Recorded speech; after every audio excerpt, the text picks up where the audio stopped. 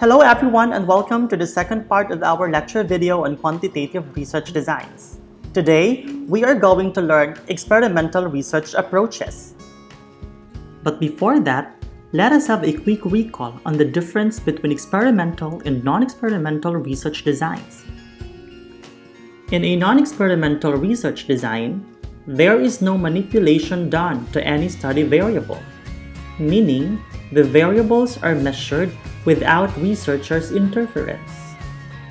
In an experimental research design, the researcher establishes different conditions or treatments and then study their effects on the identified participants.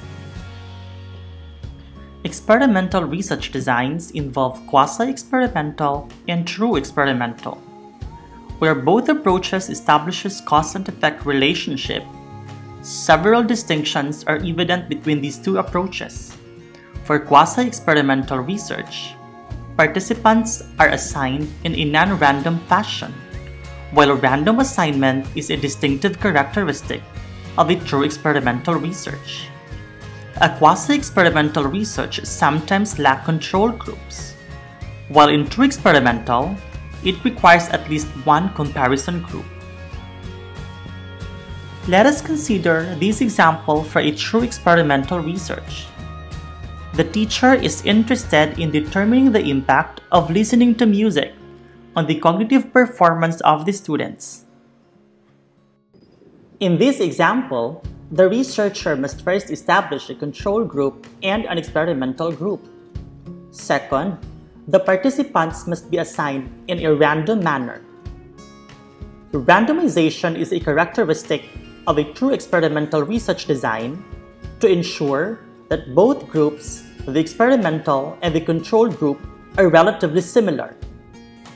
The experimental group will receive the intervention, in this case, listening to music, while the control group without the intervention. What about quasi-experimental research?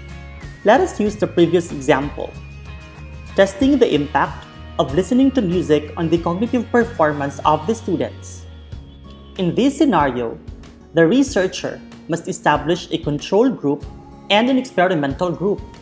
But remember, quasi-experimental research designs sometimes lack a control group. In this research approach, the participants are assigned in a non-random criteria.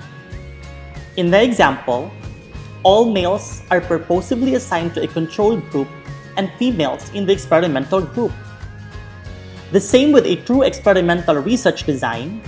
In a quasi-experimental research approach, the experimental group will receive the intervention, in this case listening to music, while the control group without the intervention. Sometimes, a quasi-experimental research design lacks a control group, meaning that the researcher only considers an experimental group. Let us take a look at this example. The teacher is interested in determining the effect of instructional material to increase performance of students in statistics. The data will be obtained before and after the experimental treatment. In this scenario, the experimental treatment is the instructional material and remember no randomization, and no control group. Today, we learn true experimental and quasi-experimental research designs.